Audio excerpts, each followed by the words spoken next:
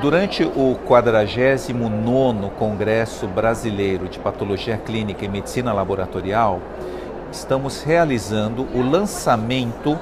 da Diretriz para a Gestão e Garantia da Qualidade de Testes Laboratoriais Remotos, conhecidos como TLR, da Sociedade Brasileira de Patologia Clínica Medicina Laboratorial.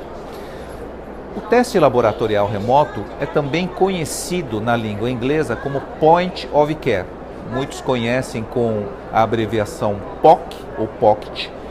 E este é uma tecnologia que vem sendo cada vez mais utilizada nos serviços de saúde por permitir uma resposta rápida em termos de resultado de exame laboratorial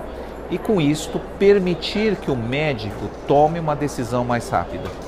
Em suma, isto de fato, em muitas situações, visa a garantia da segurança do paciente, pois permite ao médico uma conduta mais rápida, particularmente em situações de maior criticidade do paciente. Este livro chamado, este livro de diretrizes que está sendo lançado pela Sociedade Brasileira de Patologia Clínica Medicina Laboratorial tem por finalidade orientar os, uh,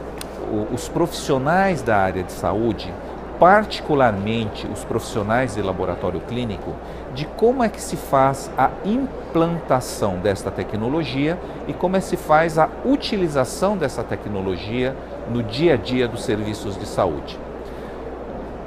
Os testes laboratoriais remotos, eles, é, é, segundo a RDC 302, eles devem ser é, coordenados, eles são de responsabilidade do laboratório clínico, tanto no processo de implantação, validação, o controle de qualidade interno e externo, conhecido como ensaio de proficiência, de tal forma que o laboratório clínico tem uma função fundamental na utilização desses equipamentos dentro dos serviços de saúde. E este livro efetivamente visa a discutir todas essas questões, tanto legais como técnicas e científicas, visando orientar esses serviços de saúde a melhor forma e a forma mais racional de implementar este tipo, esses dispositivos e a sua utilização no dia a dia do, dos serviços de saúde, particularmente hospitais, ambulatórios, de tal forma que os resultados,